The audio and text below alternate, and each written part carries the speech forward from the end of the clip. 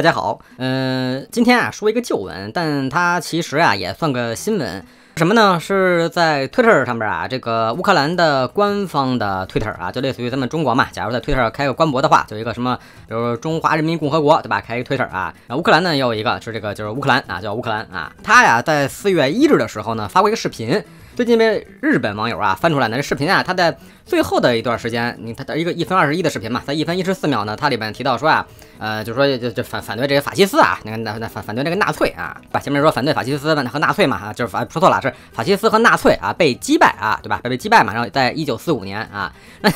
日本人就不干了啊，日本人说我操你家什么意思，对吧？啊，你把我们家这个这个这个这个这个这个天皇嘛，这是这个应该应该是昭和吧，对吧？昭和天皇啊和这个希特勒啊墨索里尼给放一起了啊，日本人非常不开心啊，非常不开心。呃，他们逻辑呢就是说，你凭什么把我们家这个日本天皇呢和希特勒和啊墨索里尼放在一起啊？他们认为呢，他们家天皇啊特无辜啊，特白莲。花啊，仿佛呢，这个呃，侵华战争啊，什么太平洋战争啊，呃，跟日本人啊没啥关系啊。我觉得这个逻辑也莫名其妙嘛啊。你们到底有没有接受过这种呃，全世界都知道的一个正常的这个历史观？你说嘛，当年这个二战嘛啊，我觉得任何一个历史课本都应该教过吧。一方一方面是这个轴心国啊，一方面是这个同盟国，对吧？那同盟国嘛，那就是现在在当今吧被塑造为了正义的一方啊。当然，这个同盟国里边有这个苏联啊，那就是 是吧？那现在按照西方这个历史观吧，捏着鼻子吧，把这个。苏联呢，姑且算成正义的一方吧，啊，虽然咱们后世呢有很多评价啊，就是这个帝国主义狗狗狗，对吧？就是说那个苏联呢也是跟这个呃德国呀，这个这个反正就是呃眉来眼去啊，瓜分波兰呀什么的，呃，最后呢是这个疯狗啊，疯狗这个希特勒啊，是吧？咬了这个斯大林一口，然后这才反目成仇啊。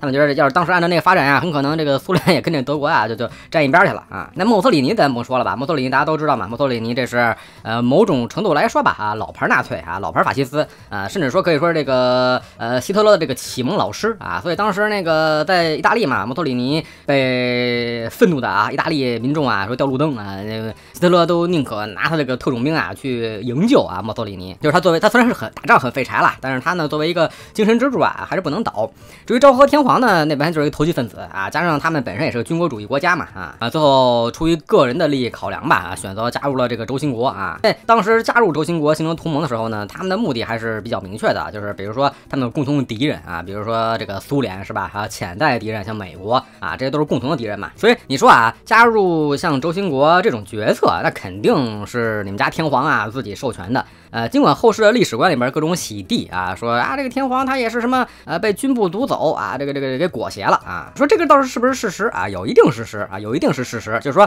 当年的日本的一个基础的这些军部啊，你像这个呃九一八事变对吧？后来历史调查嘛，它其实是一部分基层军官呀，他就是呃就先先斩。后奏啊，然后呢，嗯，最后啊，像日本的这边的像内阁大臣呀、天皇啊，他在追授啊，就是说就是追追封着吧啊，提供了一定这个合法性啊，就是说啊，这个是我们经国授意的，对吧？毕竟呢，呃，像当年这个全面侵占东北啊什么的，是吧？也都是这么来的，也都是这么来的。当时这张学良嘛，这个不不放一枪一炮就跑了啊。后来按照后世的这个史料解密呢，如果像东北那边，对不对？他他他呃是做出适当的抵抗啊，可能就没事了啊。日本内部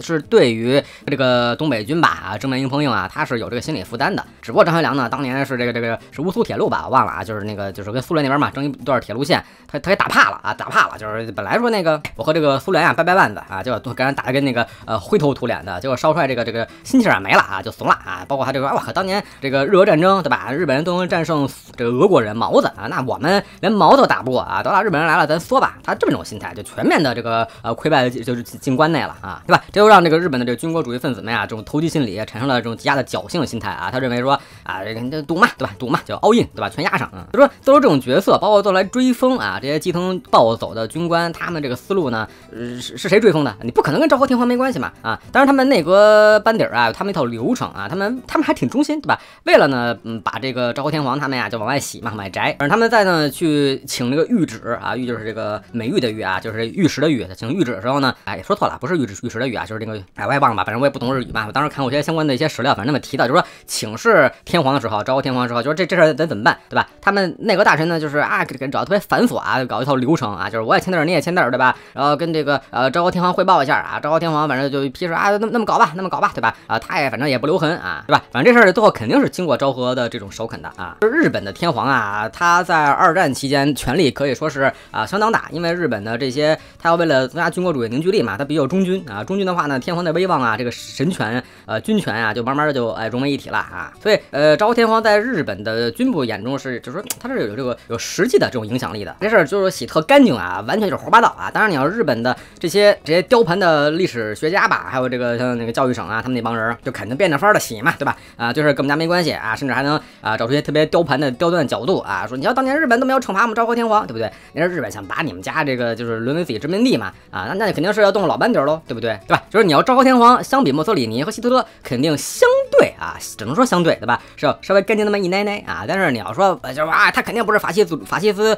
呃主义者或者纳粹主义者，是吧？那胡八道了，对吧？你说你说昭和他是不是纳粹啊？可能纳粹的这个呃纯度没那么高啊。但是你说法西斯，百分之百的法西斯什么军国主义者嘛，对不对？昭和的他们上位之后，他一直他这个势力扩张啊什么的都是靠打仗打出来的。那你说他不是军国主义者、帝国主义者，那不是胡说八道嘛，对吧？好吧，反正这个新闻呢，每方都每方都不一样。包括这个日本啊，网民也很愤怒啊。反正这条推特呢已经被删掉了。嗯，像底下他们就是有人说嘛，然后你看就是你看这个这是这是一个可能是一个名人吧，说呃说亲爱的啊，还有那乌克兰文写的，你是白痴吗？啊哦，这还不是哎，这这应该是个日本人吧？哦，那位吧，你是白痴吗？说日本天皇怎么可能等同于希特勒？你不明白啊？你只是在破坏我们呃一个从一开始就一直支持乌克兰并提供很多帮助的国家的关系，就是指日本自己嘛。说立即移除啊，并道歉，侮辱朋友是不可能的。你瞧啊。我们说啊，呃，有人就说这个，有人老吐槽嘛，说在大是大非面前呀，你谈什么这个呃什么什么逻辑啊、科学啊，对吧？这也类似啊，就是在日本此时这帮网民眼中，呃，在大是大非面前，你跟我谈什么历史啊？正正确的历史观啊，在日本人看来呢，他们的政治正确，就是国他们国内的政治正确，就是我们家天皇啊，绝对跟希特勒、墨索里尼啊不是一码事儿啊。我们家天皇呀，我也是个受害者呀，对吧？他这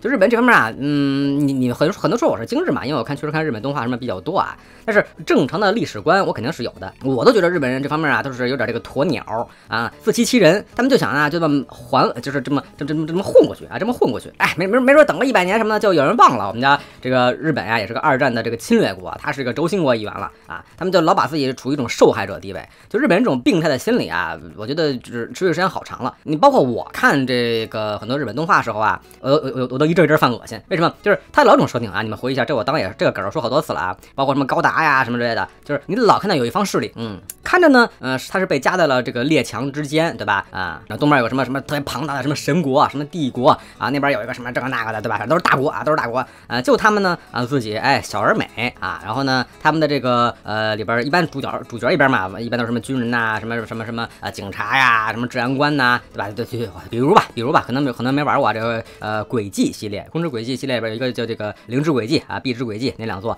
它就是讲了这么一个城市嘛，那个城市呢夹在一个一个特别有点有点邪恶，就是很庞大的帝国之间，然后另外是庞庞大的共和国，对吧？那边还有一些什么里贝尔王国，就是相对小一些，也也比他们大。他们是个呃永宣布啊永久中立独立的这么一个都市啊，就是科技很发达，哎，科技很发达，嗯，他们的科技水平啊，这个领先了周边的帝国、共和国啊，这个什么里贝尔王国、什么神权国，对吧？这一堆国家比他们都高，比他们都高啊，就是一直搞研发嘛，就我们爱好和平嘛，对吧？我们一定是把这个呃这个财政预算啊什么的呃都放在这个科研上面啊，然后呢，他们还是经济中心啊，他们经济非常好啊，还是科技中心，对吧？但是他们小国啊，他们永远不扩张领土，他们是一个独立都市啊，他们最高的这个老大就就是市长啊，叫市长，对吧？然后呢，共和国啊、帝国呀、什么各方啊这种代表啊，都是啊在这里头就有点类似于当年上海滩似的啊，或者当年纽约啊，纽约是吧？或者东德西德啊，就是各方都陪着自己的势力啊，在这个城市里面呢，啊，就是这个这个这个斗法啊啊，明着明着有打仗的，暗着的有搞这什么政治颠覆的，对吧？还有一些各种什么结社啊，一些黑势力是吧？啊，黑道白道的都在混呐，每方都背后站着一些啊大佬们，对吧？就想把这个城市的一些科技啊、什么经济啊啊这这种呃优势啊给夺过来啊，对自己有利啊。然后呃，男主他们就要维护当地治安，对吧？我们这个绝对没有侵略的想法啊啊，我们就是这个呃一定要这个捍卫我们这个城市自由还有独立，对不对？这个其实就是日本啊，他日常带入的自己一种心态，就是我们是个小而美，对吧？我们哎，对吧？我们不发展军事，是不是？我们那个啊都是搞科研呀、搞经济呀什么的。但其实日本人啊，他自己忽略了一点，就是他自己实际上啊这种呃中立状态啊，并不是他一开始选择的啊，他是被迫选择了中立，就是他被人打。打趴下了，对吧？他没兵了啊，打输了啊，然后呢被选择了，就是说你当美国的狗嘛，是不是啊？就是就是人说啥是啥啊，不得不去搞一些经济啊，什么文化呀，什么什么什么什么，是吧？什么科技发展呀啊，日本人很怀念啊那段黄金岁月嘛，然后他们就在看我们人畜无害，我们都没有军队，我们就自卫队，是不是啊？他们把这个当成了他们一直以来的人设，但你要知道他这个人设是被打趴下之后啊被迫选择的。日本现在爱所有的这个呃文化游戏啊什么这种这种作品里啊，都特别爱立这么一个国家作为自己的代入感，就久而久之，甚至日本的很多年轻人自己都相信啊，我们日本一直以来就是这么一个国家。你跟他说当年这个呃像这个昭和天皇啊干过那些烂事儿是吧？日本军部怎么着残杀南京大屠杀什么的，他们不相信啊，他们捂着耳朵不愿意听的，对吧？所以说吧，这个这个这个这个也是被洗脑时间比较长了，就是这个政客他们就是坏啊，像那说话这哥们儿对不对？他们自己知道这些事儿对不对啊？但是呢，他们为了得到自己选民的支持，一定也会这么说啊，因为呃有这种历史观的人，这是日本的相关的什么什么什么教育省啊，我不知道什么教务省吧啊，就是一直以来都这么宣传的，宣传几十年了啊，积重难返啊，几乎所有的日本国民都是这么相信的。那你说你是政客，你要想拿选票，你只有一种选择，就是迎合民众的这种，其实在我们看来是错误的这种历史观，你才能得到基层民众的支持，对不对？嗯，那你说这国家还能好吗？好不了啊，对吧？但是很。你有意思的是，就是说乌克兰，那乌克兰他为了怼俄罗斯啊，他强他尝试在用这个把这个侵略者嘛，把这个乌克兰普京啊他们呢去类比这个法西斯啊，因为法西斯是军国主义者嘛啊，那必然就会提到那段二战历史，因为纳粹啊什么法西斯啊，呃最知名的时代就是这个这个就是这个呃那个时代二战嘛啊，而且他也为了洗白吧自己什么亚速营啊什么的啊，就是跟法西斯呀军国主义啊没啥关系，对不对？你当然咱实话说啊，亚速营你说是法西斯不太合适，他是纳粹啊，这是纳粹是合适的，对吧？法西斯一定是军国主义向外侵略啊，乌克兰确实也没啥向外向外侵略的这种这。种这种意图吧，啊，他也没有动机，对吧？然后你说这纳粹那是因为纳粹纳粹就是说针对这个民族啊，一些一些特定民族还有一种一种迫害嘛，他们就是亚速营嘛，啊，针对这个俄罗斯族啊，他的这种迫害，这是有相当的一些一些资料来支撑的。对乌克兰，他为了切割这个事儿啊，变着法儿他要带头去怼纳粹和法西斯主义者，法西斯主义者，对吧？怼纳粹可以证明我们亚速营啊啊不是纳粹，对吧？呃，怼这个法西斯呢，呃，就是其 实就是恶心普京嘛，恶心俄国嘛，啊，但是一提这段历史，必然就会把这个二战历史，纳粹这边的法西斯几个代表嘛，墨索里尼、希特勒和呃昭和天皇兄。烧上，那日本就不乐意了嘛。对于乌克兰说，这是全世界都认知的呃这么个历史观。但是，恰恰日本在此时是作为他们的盟友来说的啊。而那你就说，哎，那人家那个意大利和德国怎么没事啊？对吧？人德国也没抗议啊，啊，意大利也没抗议啊，因为他们相对来说反思的比较彻底啊。而日本这方面，对吧？它它它相当于一个，就是呃，有人说啊，你为了去呃弥补一个谎言啊，你不得不拿更多的谎言来弥补它嘛。那日本其实就生活在了这么一种环境下啊，整个集体国民都被洗脑，认为啊，我们家天皇对吧，跟那个纳粹法西斯没啥没啥关系。哎呀，我觉得挺可悲的啊！也可以看看啊，像这个 Reddit 啊，Reddit 上面，呃，像我经常逛那个流浪房区嘛，流浪房区里边，呃，一些评论啊，就是说这个就是已经被删了嘛，对吧？然后那个还有已经有大使啊出面安抚了，然后下面的日本人说啊，别理保守派。啊，就是保守派一般指右翼啊，就是还是这话啊，呃，爱国主义者一般都是保守派，而保守派极端了，就是网络右，就是网络右翼啊，就是网络右翼，对吧？然后那个啊，什么底下的这个评论让人作呕啊，完完全就是粉红含辱华的既视感，全世界右翼真是一家啊，就认为粉红嘛是右翼啊，我我认为粉红不是右翼啊，就是说呃极端粉红啊，可能成为网网络网络右翼啊，呃喷了啊，说看到有日本人说啊，昭和是君主立宪，天皇本意是好的啊，下面是坏的。啊，这个日本战败的时候啊，天皇愿意为了人民付出生命。那你看还是这话嘛？啊，底下坏的都是这些啊内阁大臣，对吧？我们天皇最好了，天皇是圣洁的，没问题啊。都是底下这个啊念经的人啊，把经给念歪了啊。我记得当年呃，我看《水浒传》嘛，《水浒传》里边我看那版本啊，有这个毛主席的批注啊。毛主席当时我记得好像批注还是寄语啊，忘了，反正写那么一句，说这个《水浒传》呀，好就好在啊，反贪官不反皇帝啊，就。